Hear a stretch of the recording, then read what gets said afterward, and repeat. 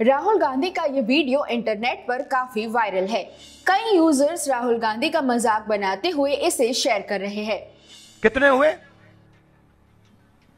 बताओ पचास पंद्रह कितना हुआ? तिहत्तर सेवेंटी थ्री हाल में कांग्रेस की भारत जोड़ो न्याय यात्रा चल रही है। ऑल्ट न्यूज़ ने इसी आधार पर सर्च किया और पाया कि राहुल गांधी का वायरल क्लिप छत्तीसगढ़ में दिए गए उनके भाषण से लिया गया है।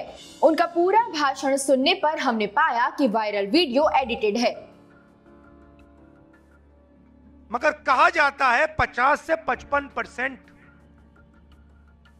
पिछड़े वर्ग के लोग हैं।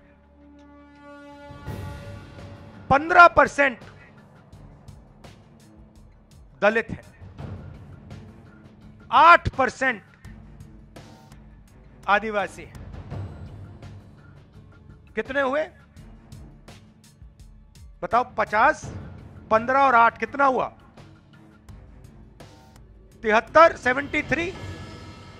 यानी राहुल गांधी का मज़ाक बनाने के लिए सोशल मीडिया पर चलाया गया वीडियो एडिटेड है। उसमें से आठ नंबर को काट दिया गया था।